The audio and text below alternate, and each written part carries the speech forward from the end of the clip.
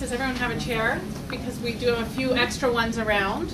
Um, there's one up over here. And um, do we need two more chairs? We do mind giving, helping these people get some chairs? There's more in the next room, I think. Um, okay, great. Well, thank you everyone for being here and joining us for the Imaginings exhibition. Uh, my name is Saskia Stille and I am a doctoral student here at OISE and I would like to at this time also acknowledge and introduce um, the co-curators of this exhibition, um, one of whom is Gail, who I think just wandered around the corner, if you want to wave Gail. Uh, there she is. and the other curator of this exhibition today is Sharon Newmaster, who is the ESL consultant for um, Waterloo Region. Region District School Board. I was get the C sometimes mixed up. Um, anyway, we have had an absolutely wonderful time working together and um, conceptualizing this exhibition. Um, I'd also like to thank Paula Marcus and Jim Cummins, who, who's here as well, uh, for their support and encouragement for us to put this exhibition together. Part of why doing this work was so wonderful was the, the work of all of the teachers who have um, submitted their works to share with you here today. Um, their, the quality of the submissions was absolutely remarkable, and we had just as much fun planning the exhibit as talking about all of the great projects and the ideas that they gave to us. Um, a couple housekeeping notes for you about the way the session is going to work. I'm going to say a couple comments um, to talk about the um, theoretical background that informed the um, exhibition itself and its conceptualization. Um, and then I'm going to introduce four panelists each of whom is going to come on up and share um, their work that they have brought um, to share with you today. We tried to select four people who were doing very different things, so you could get a real taste for um, different types of projects and, and different experiences. And then following that, Jim is going to do a short, he's going to lead us off in a, a short question and answer period. And then for the remainder of the um, time that we have, which is half of the time, we will open it up to the people who are here for a gallery walk. All the um, submit, most of the exhibitors are here. There are just a couple who are presenting in other sessions and, and could not be here in person, but their, their works are pretty self-explanatory. Um, so I invite you to circulate, talk to um, all of these wonderful uh, teachers who have contributed their works here today, and we have some students that you can talk to as well. Um, and Following that, after the session is over, the exhibit will be here until 3.15. So please tell um, colleagues who are also here today to come on up and have a look and uh, see what um, everyone here has done. Um, so I'm just going to talk briefly about the context within which this exhibition was created. Um, as part of my, my work here as a doctoral student at OISE, I've been involved in, in Jim Cummins' Engaging Literacies research project. And, and this, the purpose of this project has been to work collaboratively with teachers, students, and parents to assist students in uh, drawing on the full range of their cultural, linguistic, and representational resources in their writing and in their learning more broadly. Um, and part of that work has been helping the students to share this work with a wider audience. And so I just want to connect to two points of that project that, that um, we drew upon in conceptualizing this today. The first is the idea of collaboration. Um, this entire event couldn't have happened without a, a, great deal of collaboration. And I think it also represents what happens in schools. Teachers working together with their students in collaboration to do wonderful project, learning projects. Um, teachers working with community members, artists, um, parents to get them involved in the learning process. And I think that all of these works really stand in solidarity with that work that teachers are doing every day in their classrooms. And um, on top of that, as, as a member of that, that research project team, I've had the opportunity to collaborate with so many wonderful people, brilliant colleagues, some of whom are here today, Jacqueline, um, who's been a part of the team, uh, Ina, who is video recording us today, um, Tiffany, who is around as well, she's over there, and um, Sunny Lau and Mario Lopez Gopar, who have moved on to do greater, more wonderful things.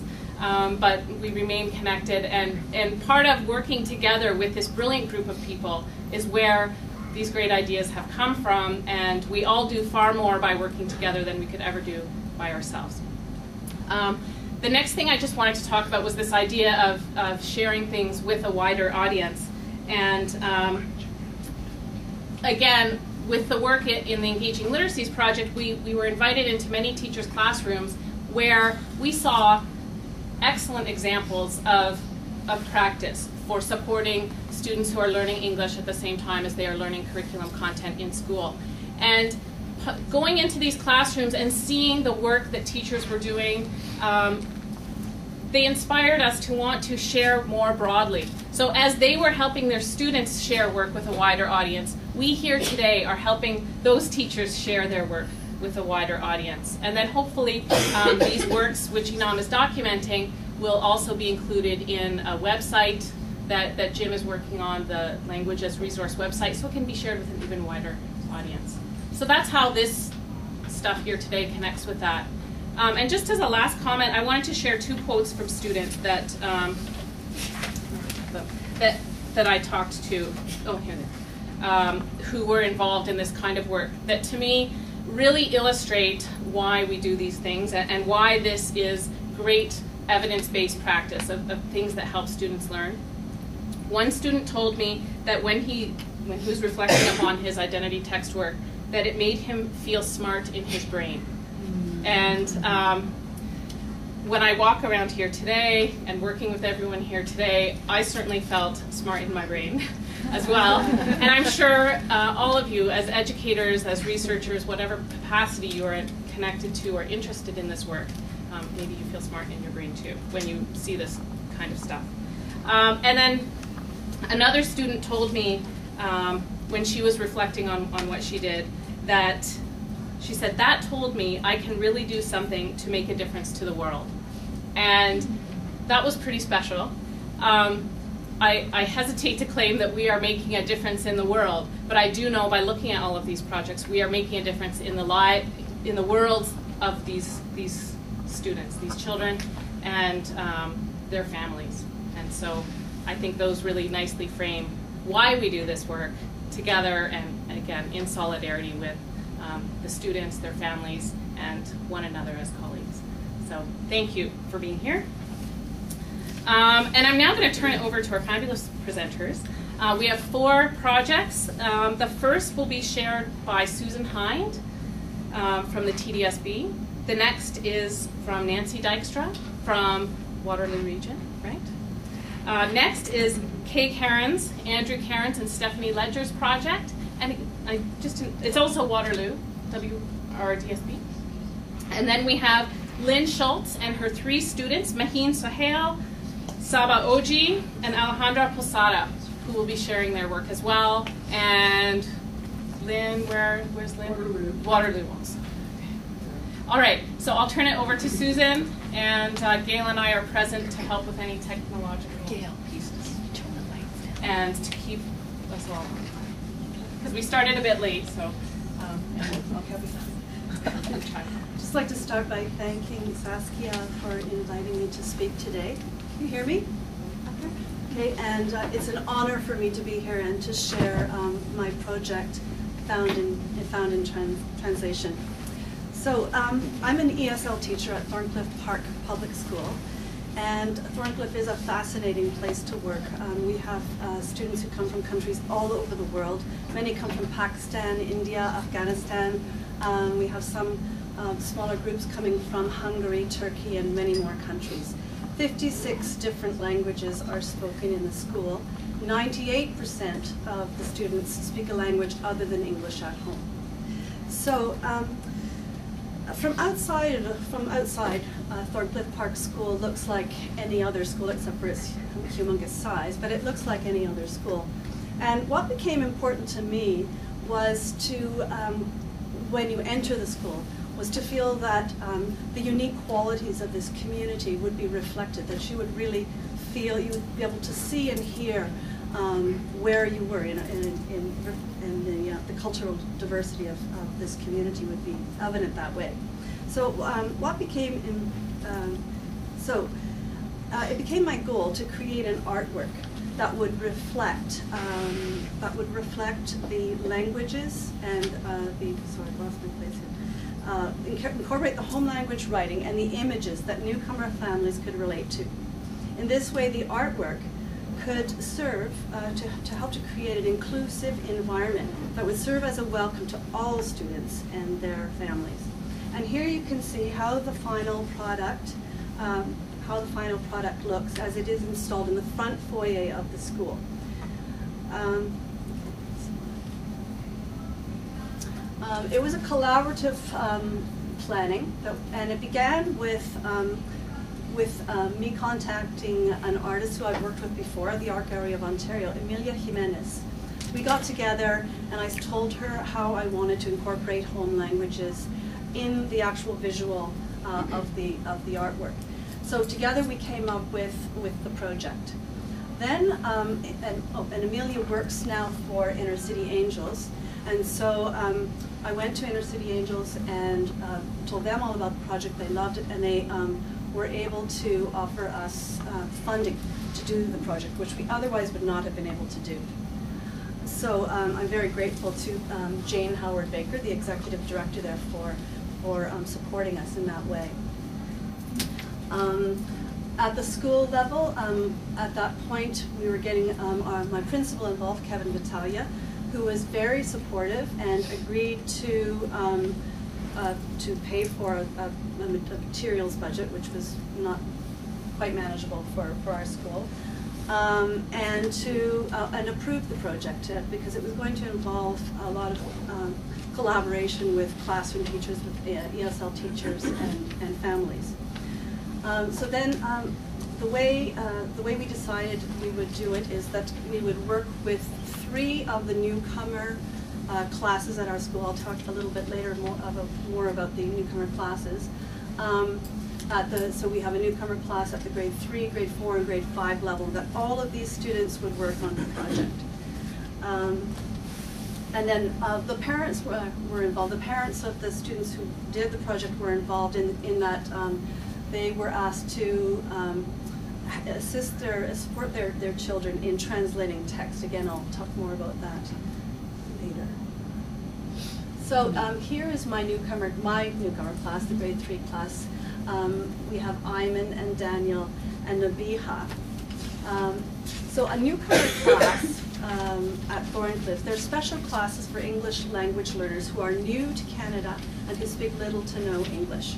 They're withdrawn for one quarter of the day from their regular classroom for intensive language support. They spend the rest of the day in their regular classroom. So as I said, three newcomer classes um, like this were involved.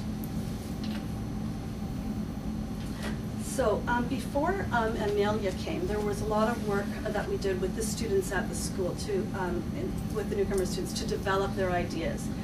And um, we began, we just we chose the theme of home because we felt that it was uh, particularly relevant for these, these newcomer students and that they would potentially have quite broad ideas of what home might be, uh, which would really make their project rich.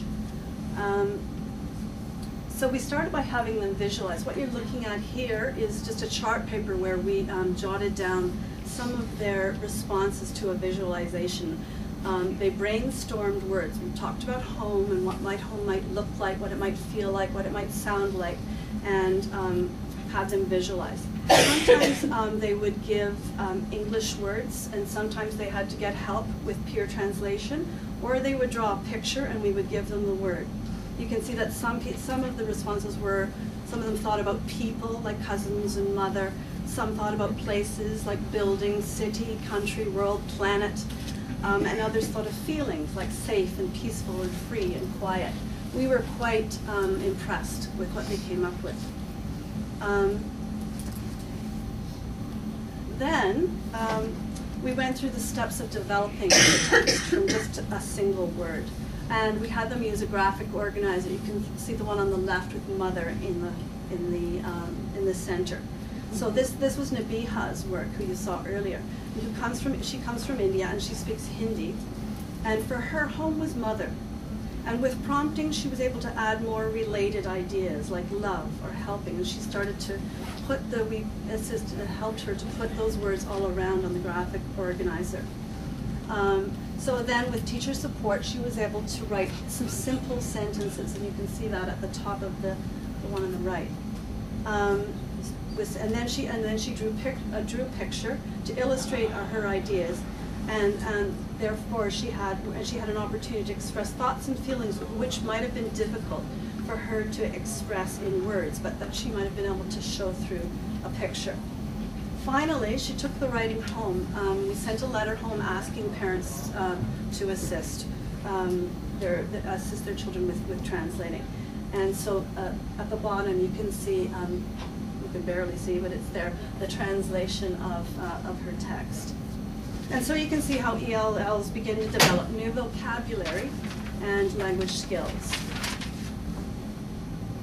So then when Emilia came, she started by having the students, um, they had a board about like about that big, um, and she had them paint the surface of the board uh, with all different, randomly with all different um, colors of acrylic paint. Um, so they had a lot of fun with this. You'll see this later in a, in a video I'm going to show you with just having no sort of agenda other than covering the surface of the of the wooden uh, the wooden piece with color.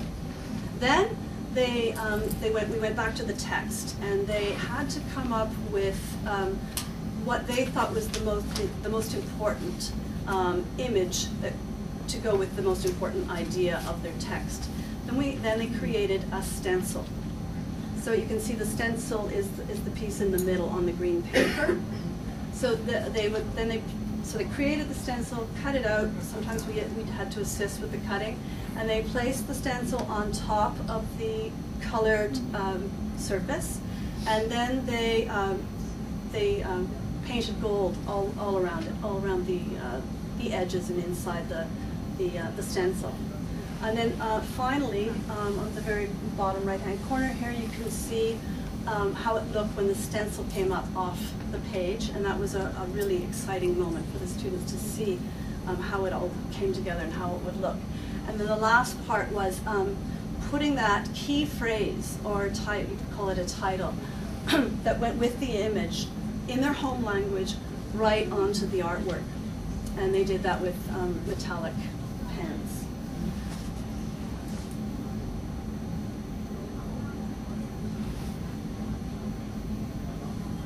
sorry, I to say a couple things here. Um, so with Fariza's, uh, Fariza's artwork, which is the teddy bear, um, what that was about was that was the teddy bear that um, she left behind um, because it wouldn't fit into her suitcase. That was the context of her story. That wouldn't fit into her, her suitcase when she left Dubai. The staircase that you see at the top right, that was Zainab and her cousin who loved to run up and down the stairs playing tag in their home in Saudi Arabia. Um, and so you can see that the pictures are both joyful and sad, and they represent the feelings of newcomer students as they adapt to their new home, which is a very important part of the settlement process. Um, and here's the, the finished work. Now this is Nabiha's work. You can see how it all comes together. Her picture focuses in on just her and her mother, and they're connected by the flowers and they're enclosed by the words all around them. The Hindi words mean me and my mother. And the feelings of happiness and love are expressed by the bright colors, the glowing background, and the closeness of the two figures. And finally, um, you can see Emilia at the front there kneeling down. We have all of the students just before their work was installed uh, in the front foyer holding their, holding their pieces. And you can see how proud they are. And um, that they have been, they've been recognized as talented and capable indiv individuals and they've been able to use, do this sophisticated artwork to represent their ideas. And they're feeling very proud and very excited about it. Um, I felt that the students were really changed by this experience and that they they really felt closer together and had a better understanding of who each other were and also with us as their teachers. Um, so, um, and then involving them in the installation process, it provided an opportunity for the students to have ownership, not only of their artwork, but of their school. And, um, and especially the fact that it was, it's right there in the front foyer, one of the most, the most important place probably of the school, the entrance of the school. So finally we had a celebration and the vice principal came to congratulate the students for their fine work. So they were, they were highly acknowledged for their, for their work. Um, and then um, the other uh, the other piece to this was that uh, Inner City Angels proposed that they would like to make a documentary of this. So we're very fortunate to have um, had uh, photographers come in and document the whole process um, all through all through. And I'm going to show you that now. Okay, you're going to.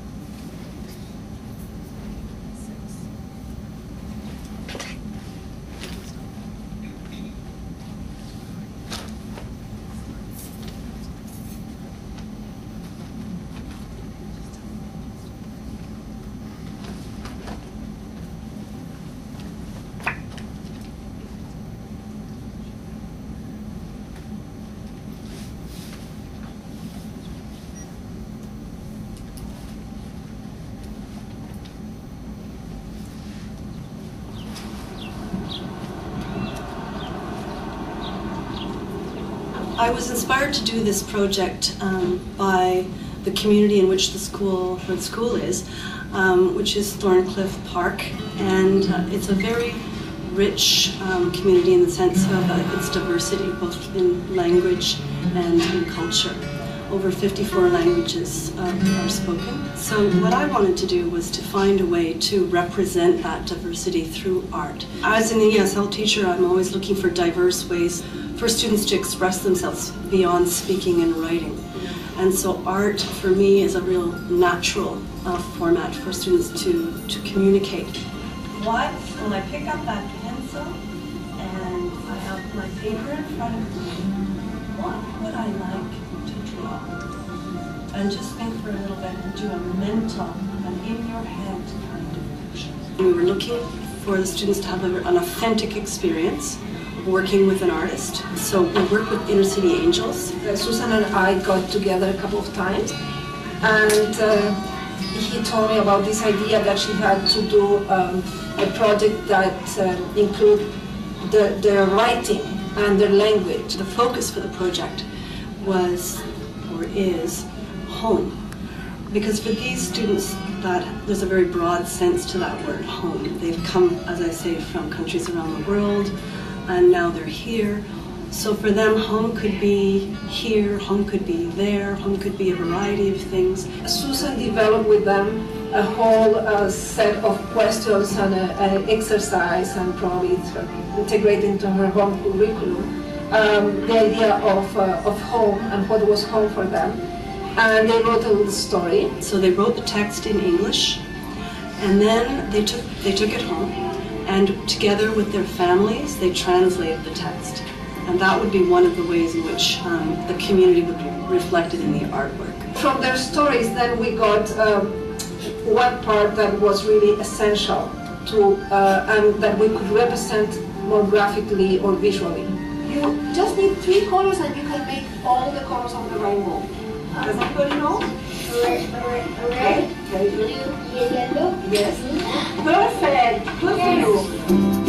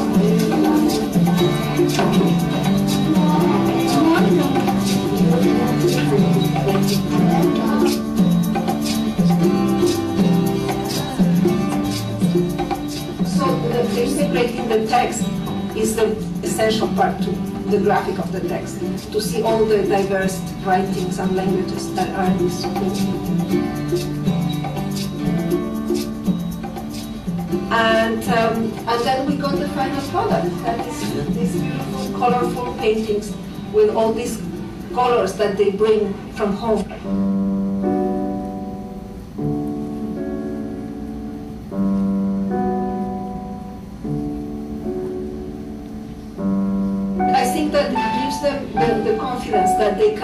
Do something that they are recognized, that is gratifying, that they can bring something that people will talk about. And it's, a, it's a way of communicating. It's the power of being able to express themselves, their feelings.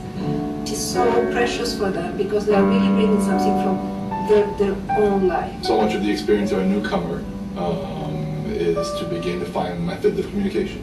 And verbal methods and written methods are the ones that, that we do well in school. To go beyond that for all of our students, but especially for newcomer students, uh, to allow them to have a variety of ways of communicating. And art obviously is a beautiful connection. Um, uh, everyone can draw and everyone can, can sculpt and everyone can be involved in arts and communicate through. My home is my family. My family makes me safe. I love to play with my sister. Suji ka halwa. My favorite food is suji ka halwa. It's hot and fresh. When I eat it, I feel happy and good and safe. I love my So in the interest of time, we're going to stop. So thank you very much for. Uh, Right away, our coach can oh, yeah. ask more questions later about that. And I'll, Nancy, come on up. Oh, wait. no.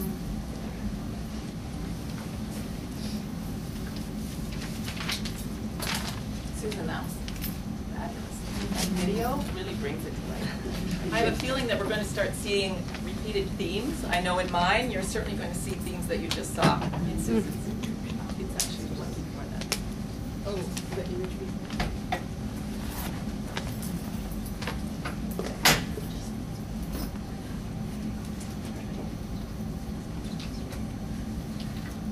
I had hoped to start with my student's voice, but techno- technology didn't let me do that. So imagine a nine-year-old boy. I chose family as my community. I chose family because it is important to me and it is my favorite community. This is the story of my family. My dad was in Canada, then he went to Romania and got my mom, and they went back to Canada in an airplane. One year later, I was born. Then three years later, my brother was born. My sister was born after another three years. I chose an airplane because my mom and dad are in the plane. I chose the house because when my mom looked out the window, she saw homes. Did you see the maple leaf in my picture? I put a maple leaf to show Canada. Canada means home to my family. This was Matthew when he was nine years old in my grade three classroom. In uh, my grade three classroom at Sand Hills Public School. It's a K to six school in the suburbs of Kitchener for, well, there's apparently a few people from Waterloo here, so many of you know that it's about 100 kilometers west of here. And it's a pretty diverse school too. I'm, I'm getting to understand. We have about 40 different languages in our school and people come from about 60 different countries, but most of our school population are not born outside of. By far the majority are born in Canada, as is Matthew.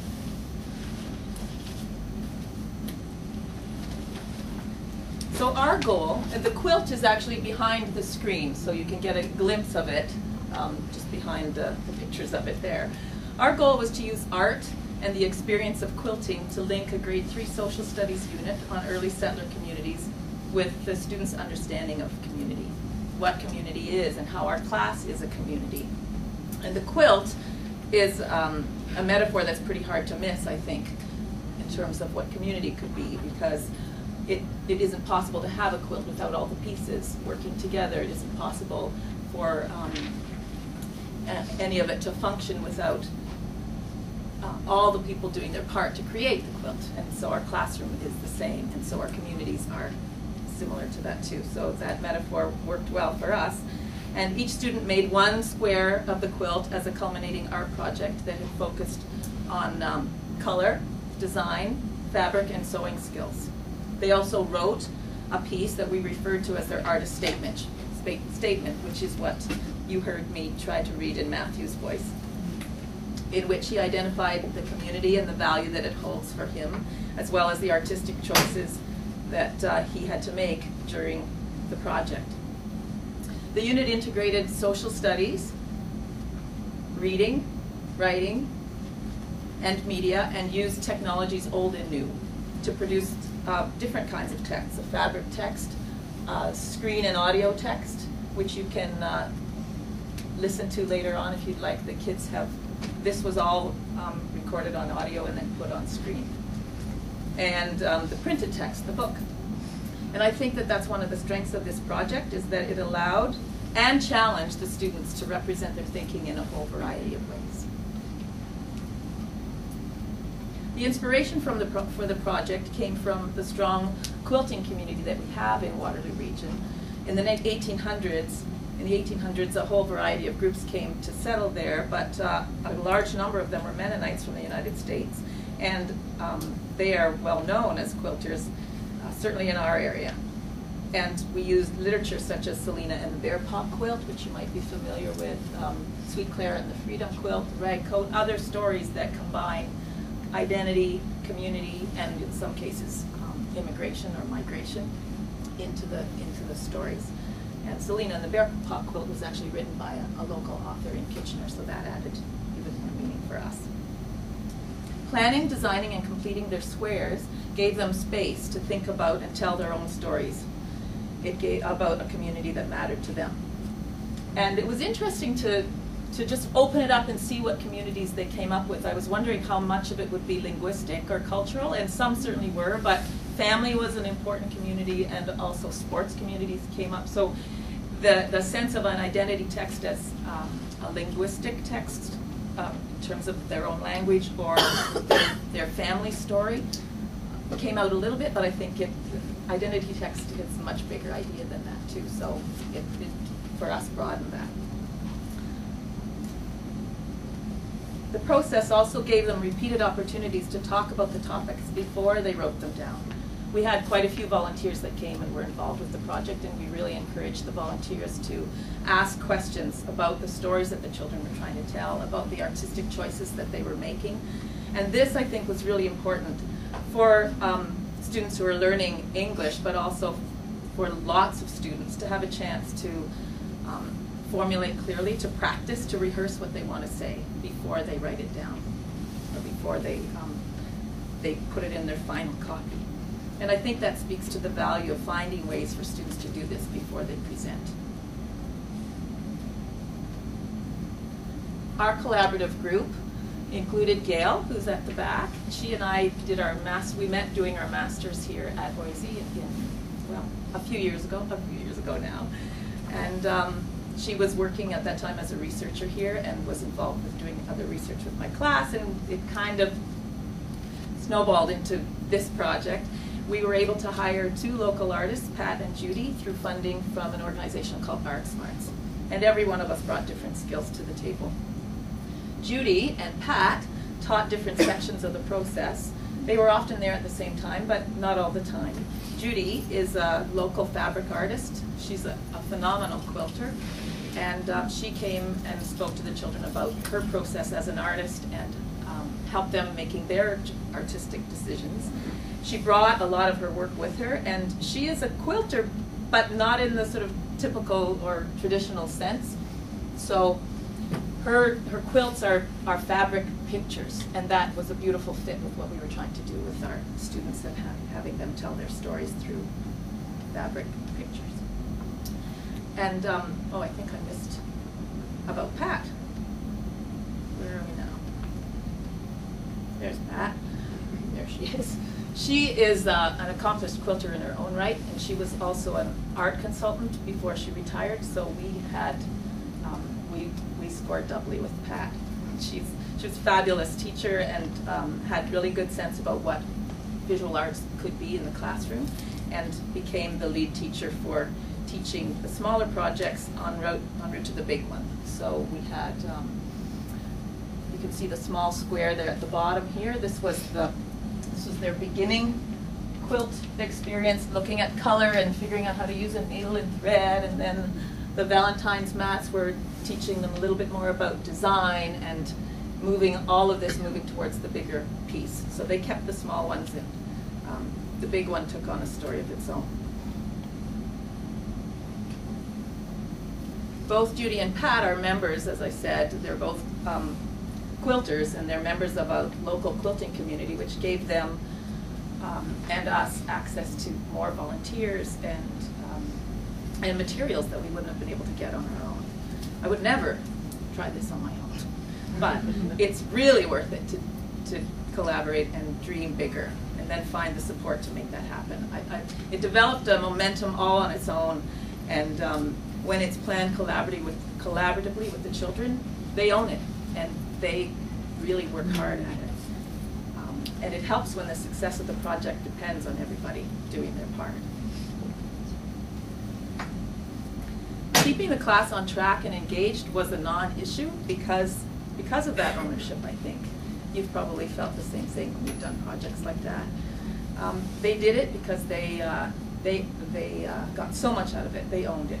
Originally, we were going to donate the quilt to Mennonite Central Committee, which provides um, um, cover, quilting kind of, kind of covers for people in different parts of the world, and we thought this would be a great thing to donate to that project. But Judy um, said, no, no, no, we're not going to do that.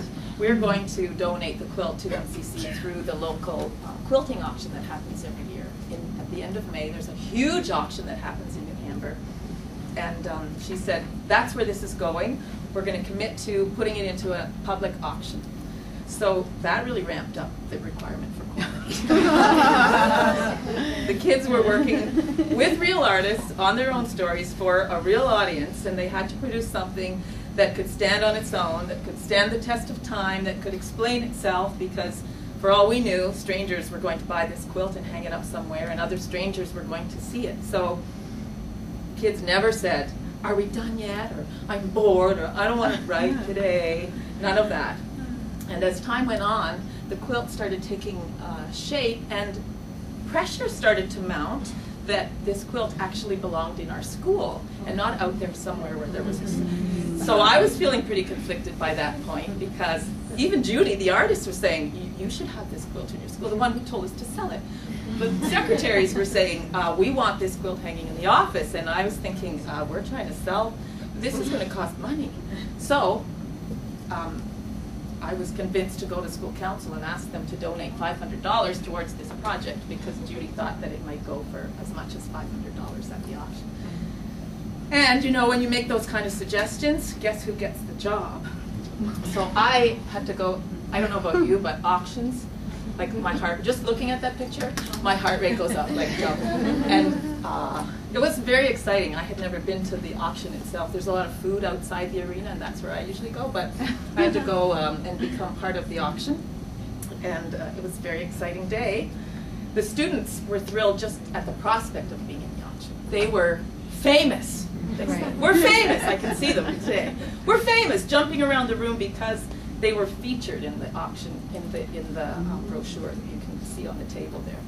So there was um, there's just no doubt in my mind about about the value of authenticity, about authentic working with authentic authors, working on your own story, working for an authentic audience. It's it was was quite phenomenal. I did get to buy it back. There were other bidders even, and it was a bit of back and forth and we had to, we went over the price, and it was all very exciting day. but now it's back, and the, stu the students certainly know how it contributes to our school. It hangs in the office, the secretaries get to see it every day. And um, I asked them, and I'd like to just end with this part, I, I asked uh, them today, two years later, whoops, how do they feel about their quilt when they look at it in the office? And uh, they say things like, I remember how hard we worked and how fun it was. I'm really proud to see it hanging up there in the office. The quilt in the office reminds me of the stories and of my friends in that class. I remember learning to do something I never thought I could do.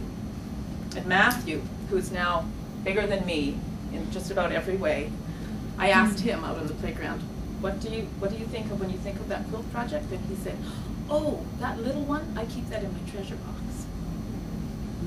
So that's our that's our quilt story.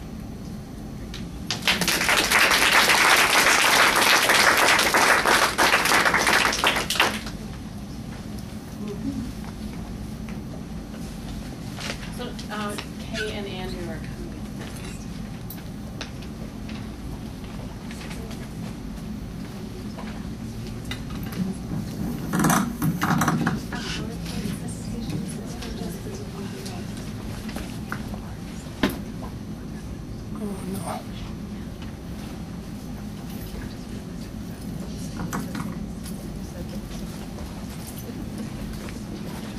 Hi, Cairns, and I'm here to tell you a little bit about the dual language book writing club that we started at our school in 2004. With me is Andrew, he's my son, and he's been helping us almost from the beginning. Uh, the person that's not with me is Stephanie Ledger, she's presenting at another workshop today. But um, we've worked a lot together over the years, and our project started just basically as a very small idea, I guess, that has grown. And we just decided we wanted to give children at our school an opportunity to be able to write in uh, English in their first language. So my school is a K to six school. Um, 45% of the students um, speak a language other than English at home. And um, we're fairly close to the university, so a lot of our, our students are quite literate in their first language, and their parents uh, want them to continue to uh, develop in their first language. So um, we thought uh, writing books with them would be a good idea, and um, you know, give them a way to just express themselves. And as I said, it started as a very small idea, has kind of grow, grown and evolved over the years. And um, when I look at some of the early books we did, I think, oh yeah, we've learned so much since then about how to do this and, and what the kids uh, want. So um, what we did was basically just to pair uh, students at our school that speak the same first language and have some degree of uh, literacy, first language literacy, together and invite them to just write a book. We tried to encourage them to do um, a, a book that would tell their story about coming to Canada, but they basically just did their own idea, or they did what they wanted to do, and we let them do that because we really believed that it was important for them to have their voice and uh, whatever stage they were at at that point, they just told their story the way they were going- going to tell it. So we, we keep our hands off quite a bit. We don't, you know, we don't change a whole lot of things as long as it's grammatically correct in, in English. And, you know, we may have a better way to say it, but that's okay. They are where they are and they're going to say what they want to say. And we've basically just left things that way. Um, in 2008, we had a chance to uh, do the project uh, as a two-week uh, workshop, if you will, in the summer at the public library, and we, we received funding from Citizenship and Immigration, the uh, Settlement Workers Partnership Program, um, to do that at the library. And uh, we really enjoyed that because having the two weeks, rather than just at school, taking them for one or two uh, nutrition breaks in a week and having them write over several months, this was something that was going to be done in two weeks. And um, it gave us a chance to do sort of mini lessons with them and teach them just different things about what they were doing with their writing. And um, from that, we were able to put copies of the children's books into the public library, the Waterloo Public Library. And, um, and since then, we've received more funding. So now the children's books that we have are in Kitchener Public Library and Cambridge uh, Library, as well as our school library as well. And um, the kids are proud. I'm, I'm hearing that from other people. The kids are just so proud of what they can do. And from the beginning, it, for Stephanie and I, and for Andrew, it's been more about uh, the process of their writing. Sure, we get a book at the end, and it's a book that other teachers can use and other students can read. Um, but when they're with somebody else and they're discussing what they're going to write and using their first language and the surprise on their face when I, you know, I say, yes, just speak to your, your partner in, in your language and say what you need to say and go home and discuss it with your parents and, and that sort of thing. It just really makes them feel that they're important and um, what they have to say is worthwhile. And um, anyway, over the years, there were a lot of people saying to us, uh, you know, how did you start this? What did you do? And um, so we got government funding to do a webcast and a website I'll show you some of that today. And, um, and it's just kind of gone on from there. So to date, we have about uh, 20 different languages uh, in our books that we have uh, that are represented. And um, there's more on the go. Like I have more children that are writing this year. And um, some people have asked about the books, and we, we got them bound because initially we just did them on shirtboard, and they were just, when we started the project, as I said, it was just supposed to be a small little project we were going to do, and it was, we were going to have these books in, in our library at the school. And somebody said, well, if you're going to put them in the library, they're going to get worn out. And we just thought, well, we would, we would then have them bound, and, um, and that's what you will see today at, at the back. Um, Steph and I really think it's important because she's the ESL teacher, I'm the classroom teacher, that, you know, as we work together, all the children that are in our school um, are ours, both of ours. Not, you know, I'm not sending my children off to her room to, you know, have their hour or whatever ESL. We're doing things together, we're supporting them together, and we want them to know that they count, that they have a voice, and that what they do matters. And that's that's, basically what the project is about. So I know we're short on time. I don't want to say any more because I'm going to show you a clip um, uh, from the webcast um, that talks about who benefits because of the project that we've, that we've done. And um, I have handouts at the back that have our website um, address, and it's got the webcast on it so that you can get in, in there and see the different um, we say chapters of, of the webcast that talk a little bit differently about each part of the project that we do, and you can do that on your own time. So.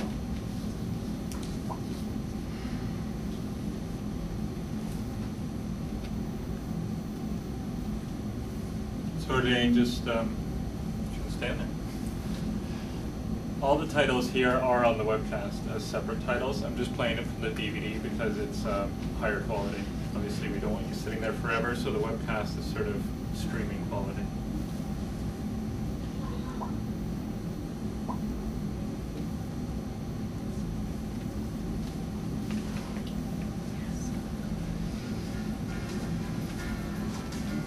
The Book Club gives students an opportunity to use and improve their first and second language skills. Research shows that students who continue to maintain their first language literacy learn English more quickly and fluently. Children that continue their, their literacy in their first language do make all sorts of connections. It's really like a bridge from what they know already in their first language to their new language. The children see that they're not they're not uh, replacing one language with another, that really they're adding to their language base, which I think is a really important thing. Students are enthusiastic about making connections between their first language and English. When they discuss their story using both of their languages, there is a freer exchange of ideas. When students are involved in a multi-step book writing process, they can develop their language skills on many levels. They use oral and written language skills and have the opportunity to develop these skills through discussion, problem solving, and sharing ideas with their partner. The club fosters a strong sense of pride and personal identity. I think they're very proud that they are able to do this. I think a lot of the children who come from other countries um, are viewed by other students in the school as being, uh, as needing help and as, as not as um, proficient in, in uh, at school as, as they are. And then when the other students see that they actually do have a lot of ideas and that really it's just basically a language barrier that is preventing them from showing what they can do, they they really want to belong to the club too. I'm very proud that my books gonna our books are gonna be in the library. So whenever I look at it, I'm really so proud. We value the support of family members. They offer their first language expertise and help their children to make connections to their culture. And Sharif, why don't you try writing a word at a time like you do in English, and then and then we'll take a look at the spelling. I enjoy working with Sharif because uh, we uh, seemed like he forgot lots of stuff about his country. And uh, I had to come here and remind him and to show him how my language, how he can write it, and to give him more memories about how he used to be young. Are you writing in German right now? Yeah. And does it feel exciting to be able to write the language that you speak with your dad? It's quite difficult. Family members also benefit because they are involved in a school activity and have the opportunity to further develop their English skills. Yeah,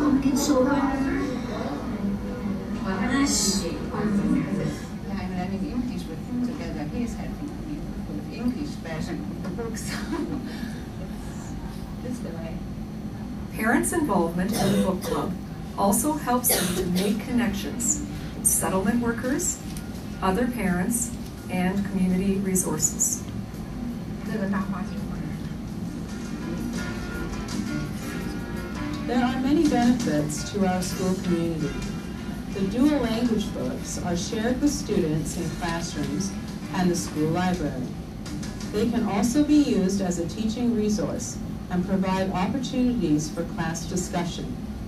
林又来到小兔瑞比家， 可是兔妈妈说瑞比一大早就出去了，点点非常难过。 Dot went through Peter Rabbit's carrot-shaped house. Now, I wanted to tell you all that there are more books like this in our own library here at Winston Churchill School. And you guys can take them out because, as I said before, they are in English and another language.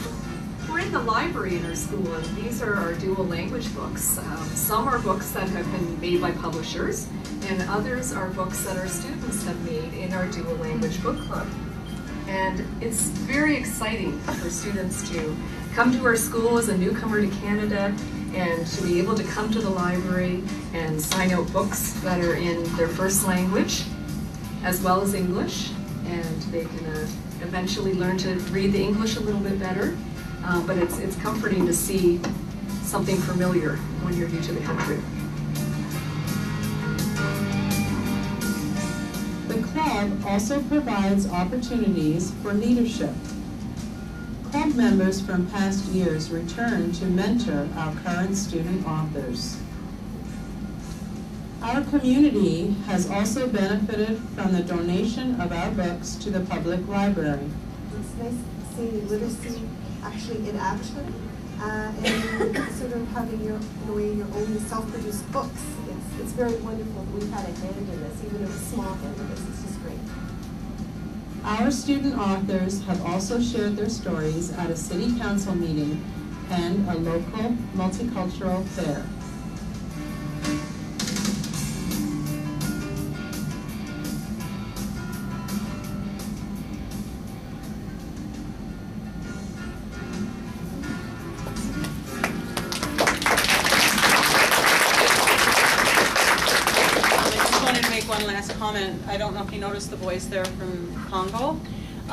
Normally, when we do the, the books, we pick students that um, can write a little bit in their own language. But the younger boy there was pestering us for a couple of years, and we finally said, okay, you know, we'll do that. And so I, I just wanted to, to mention that. It was such a good thing for them and for the older brothers as well as the younger brother. And um, just to, to have memories and and make those kind of connections. And our club is, is evolving. Like we're, we're trying new things and doing new things all the time, and it's basically just about the kids.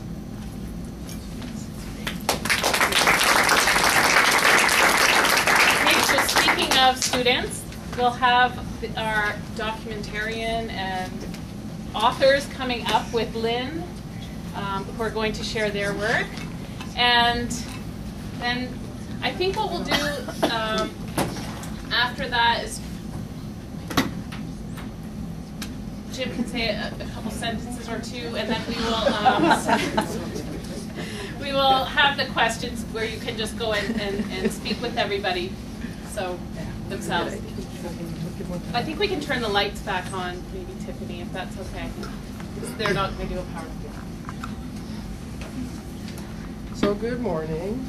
Um, I thought the best way to demonstrate student voice was to bring some students, so we had a little sleepover. And they came from Kitchener, waking up at 5 in the morning, so they're committed. um, so this is Mahin and Alejandra and Saba. And I'm going to talk about a lot of projects, but not in too much detail, but enough detail that you could do them uh, yourselves. And then they're going to highlight they're going to highlight some of the things about the specific ones they were in. So, um, just my own background, my name is Lynn Schultz. I grew up in Toronto at Van Bloor. And I think that I grew up in this multicultural apartment building. It was a student visa apartment building of U of T. So I think that influenced my future a little bit.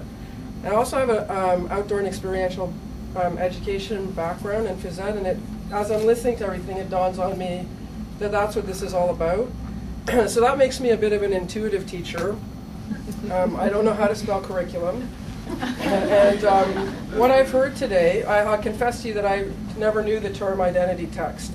But then Sharon from our board said, could you come and present? And we realized we're doing this stuff a lot. And the reason is, is that we listen to these guys. During their classes, they talk, they air concerns, they talk about sometimes complaints about teachers, and, they, and that leads to fantastic projects. And what I heard from the three presentations before, the words that keep coming up are partnerships, collaboration, authenticity, engagement, validation, pride, showcasing, showcasing strengths instead of weaknesses. That's really key um, for our newcomers. And then um, overall school climate building. So we've been part of a bit of, there's been a little bit of a immigrant spring at our school, I guess, a revolution since 2009. So it all started with um, a video from a, um, that was made in, in a, uh, as a media project, a grade 11 media student, a Canadian kid, who um, interviewed or asked permission, got all, made, made some connections with newcomers, realized she had never really met these people too much, and she made a connection in the community and then decided our school needs to meet these people, we need to do a video. So um, I also should mention that everything we have today is available, that you, could, uh, you can put a name on a list for Steph's video, which was a couple years ago, Mahin's video, and she'll tell you about it. We're going to get them public, um, printed nicely and we can mail them to you. Not that you would use ours, but that you could do your own at your school. Um, and then a, a, book is available for sale, blah, blah. Anyway, I'll come to that in a minute. Anyway, so um, Steph had um, interviewed a bunch of immigrant youth, like newcomers and uh, immigrants and refugees at our school, and we were able to show it to the whole school.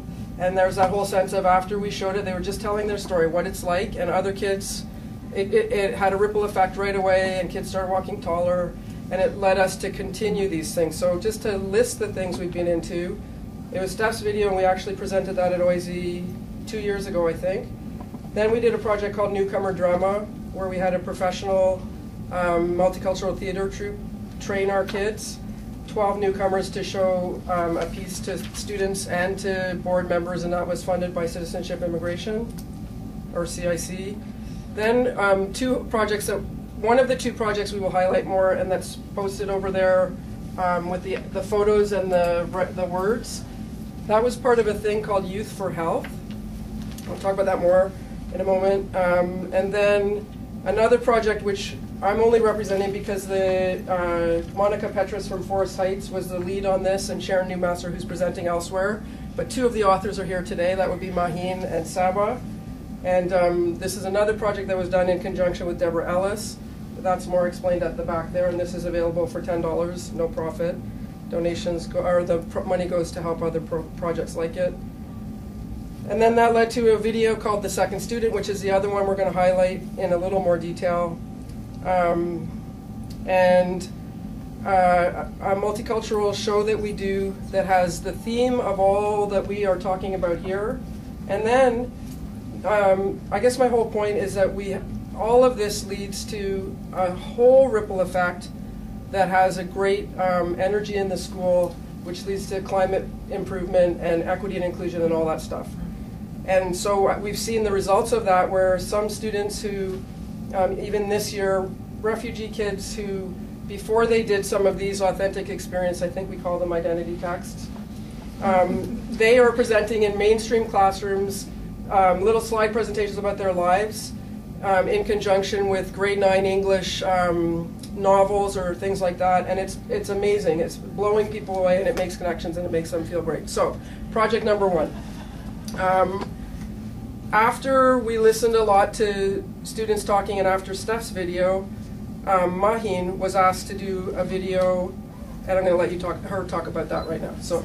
Hi, my name's Mahin. Um, I came to Canada about two and a half years ago, and I think it was my first year here in grade 11 when I saw Steph's video, and it basically highlighted all the different ESL and ELL kids. But the one thing that was missing in that video was why do that kids feel that way? So the video talked about how the kids felt really lonely and sad and all that. But what wasn't exactly addressed was that how can we fix this? So then, um, in my grade 12 year, which was last year, Ms. Schultz came up with the idea that and Ms. Hornick, and Ms. Hornick and Ms. Hornick, the head of the ESL department, uh, ELL department, came up with the idea that maybe it's the teachers who need to learn more about what these students go through in class, and maybe the teachers are ignoring what's actually happening. So we came up with this idea of interviewing the ESL and ELL kids and um, making up a documentary for the board and for the, especially for the teachers of our school, to show it to them so that the issues can be addressed. So it was more of an evaluation of the teachers by the students. So we did that in the documentary, and it's available so you can sign up, and it's 15 minutes long. And it basically goes through the four stages of um, acculturation, acculturation um, and it basically talks about what the kids think that the teachers are doing or are not doing or what should work, such as they should talk slowly, give handouts, um, maybe like pay attention to them, boost their confidence, stuff like that. So um, Saba uh, was involved in that video as well, and yeah, we showed it. One, one, other thing that the video highlighted, I don't know if you remember this part, but um, uh, Mahin also was helping to clarify, to, we're high school, right? So helping to clarify with the mainstream teachers what is ELD, and what and by by showing real ELD kids explaining who they are, yeah. and what is ESL with real ESL kids showing who they are and where they come from, and then you were going to say about Saba was in, interviewed so, and and the, like the last portion that Saba was part of was an interview where she got to actually talk to her teachers, and it was shown at a at a staff meeting. Yeah, we yeah we did show it at a staff meeting, and um, the teachers were actually quite interested in it. A lot of questions came up, and they asked us a lot of questions about how can they actually fix it. And um, I it, I think it did have a good effect on the teachers, and they actually asked for the DVDs and played it in their classrooms for the other students to get to learn from it as well. And Saba was in it, and I think she can tell you a bit about how she actually felt and you were actually an inspiration for making it because Simon would come and say, you know, we're working so hard and the teachers don't quite get where we're coming from. So how did it feel, the interview, and what do you think it accomplished? Well, for me, it's always like, always felt like, most of the immigrant kids, I feel like they're, since they don't have the English, they can't get the mark for it. So for me, saying it to, like in front of the camera and knowing that teachers will hear it, that make me lot like it made me feel better because I knew that they they would change something about like their way of teaching or something. And it was a good it was a good experience, yeah. Did you get any response from your teachers? Did anyone comment after the staff meeting? They told me I saw you in the video. and also to make it so it wasn't personal, there was we collected a lot of um, feedback from students and then got one person who wasn't those people to narrate what they would like their teachers to do more of. And I, I think it's not that the teachers don't want to help, the mainstream teachers, I think they're overwhelmed. Um, and sometimes just don't know how. And that came out when we showed them the video. They actually said, we know that we know that this is hard and we're trying to struggle with it and we want to help these kids, it's just that we don't know how. So that's something that came up in that and yeah. tried to address And just uh, for those of you not from Waterloo, um, we don't have the same demographic as you, the high intense, uh, like the density of immigrants, but we are, I don't know, used to be the fifth largest immigrant reception area, I don't know if it still is, but it's a pretty multicultural community and growing. So that's why there's a lot going on there, I suppose. So we're good with that? Yeah. Okay. So, and like we said, we can you can sign up for one. We can send them for free when we get them printed properly. Um, the other project that was kind of exciting, and this also was a partnership. Um, in Waterloo region, we have settlement workers. Do you have settlement workers? In, is that Ontario wide? I guess. So um, we had a partnership actually with U of T, the Dalla Lana School of Public Health Policy, um, came to our settlement worker and proposed a project called Youth for Health. Now I know it, we did a mental health por portion and some people in Toronto did a nutrition portion. Anyway, it was an amazing thing. Um, it was a, unfortunately the funding got cut, but we're going to show you how you can keep something like it going with no money. So um, they came, they asked for our help actually, and it was a project to um, teach kids about health, to become a health, a youth health navigator which was to help understand the healthcare system and help um, their families be able to handle it better. It also coached them with peer support um, and understanding even the language of mental health, Ill mental illness and mental health strategies, peer support, and um, that, that whole area. So the, the part of the project that we featured over there, also the kids got an honorarium, which is out of, out of control. So we they got 150 bucks if they did this thing for how long? Six weeks, eight weeks? No, like More, 12 weeks? Anyway, but the part we featured over there is something that anybody in any classroom could do. And this task, and I'm going to ask two of the kids to read something for you, but this task was they were asked to go around the school. They, and U of T was amazing. They brought cameras, all the paraphernalia and um, go around the school and just take a photo of something that indicates something about mental health around the school. So it's a photo essay. So you have your photo and then you write the words. And these don't necessarily belong to these these. They weren't. You guys weren't the authors of these, but if you could read one. Okay, so in this one, as you can see in the picture, the writer wrote, "Here I see a bright red uh, exit sign on the wall. The exit sign is always shining for an emergency situation. We sometimes suffer a hard time in our life lives and think that there is no way out of this. But we have to realize that there is always a way out of the situation. Also, the exit sign uh, is near around us, so we don't have to feel worried. This strength exists because we suffer some uh, something as we live, and we need to we need something that could help to stay strong mentally. By looking at this uh, picture, we can obtain strength of, uh, of a positive uh, mind, even though you are in a bad or hard situation that you can't handle well. First, we must not feel frustrated or embarrassed too much. You can't go back uh, to the past because you don't have a time machine. Just go through the experience uh, and experience it. It will give a great life lessons. There's a way out. You will be, you will be fine. Okay, and one, just one more. There's a short one here. So in this picture, I see a dark library with nobody in there. Every, everybody left. This relates to our lives because sometimes you will feel like everybody left you and you feel depressed. This problem exists because if you failed at something and sometimes you will feel empty. We need to deal with these feelings because it is going to happen. Practice, practice and make it happen less. Thank you. So this was a, this was um, specially offered to newcomer students, and like I said, the funding was um, cut, but the, but because of the the impact of the program, the kids said we got to try to keep this going in some way, in some way. So and Maheen was in that program also. Can you talk a little bit about what's what's brewing right now? And I guess the the, the exciting thing about this is that every one of of these projects probably gets momentum going for other things. It's, and, and that's what we're finding in the 2009 video, it all fits together. And so what's happening, and you guys have all seen this because you're participating, and actually two out of three of them are graduating, but they still want to help this new thing happen. So, so what happened through this was, thanks to Youth for Health, um, I was able to get onto the student council and I uh, became the health and well-being coordinator of the school.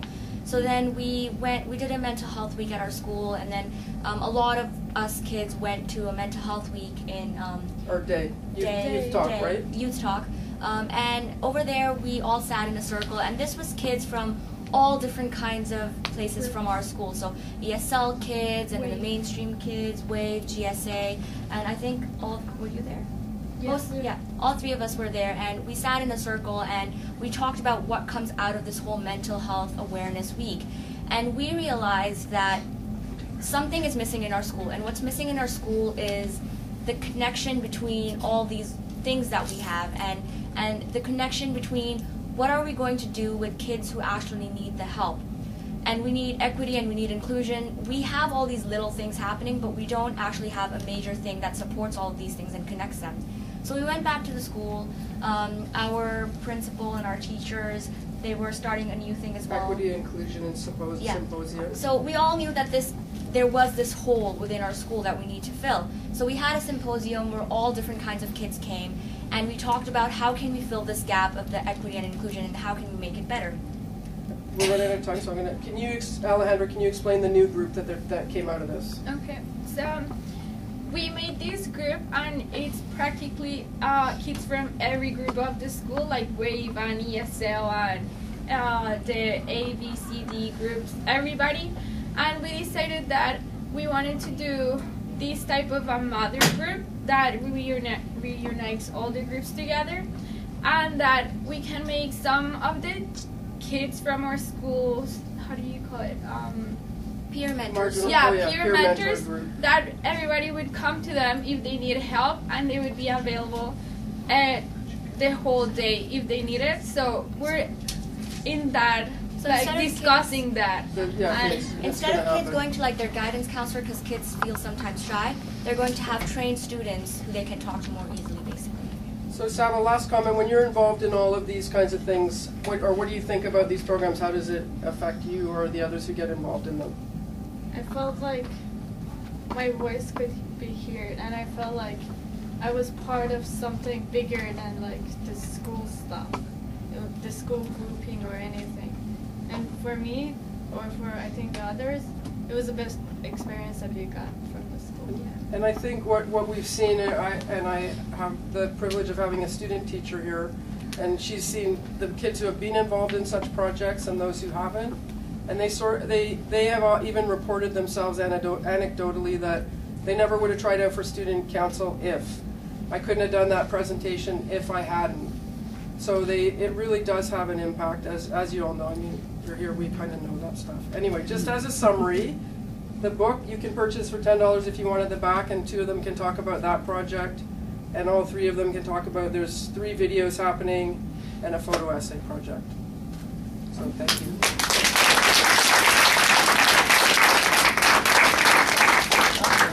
Tim, do you want to lead us into the gallery walk? Sure. Okay. um, let me just thank all the uh, presenters. Uh, that was truly awesome. The, it speaks for itself. I don't need to add anything. And uh, just uh, thank you all again. And, and also those of, those of you who haven't had the opportunity to present orally in front here, we can see what's uh, what you've been doing, which is obviously similar uh, and uh, equally powerful. So I think what we've just experienced is a glimpse or multiple glimpses of what education can be. So thank you all. We, we have uh, definite. We have the space until 3:15. Uh, I invite you to stay as long as you can for all of the exhibitors, um, but definitely until um, 12:15 or so, and uh, enjoy. Thank you. We also have feedback forms up here. Please, we want to know what you think of of this. So please fill that out if you can. You're going to be around? Great. Thank you, Inam.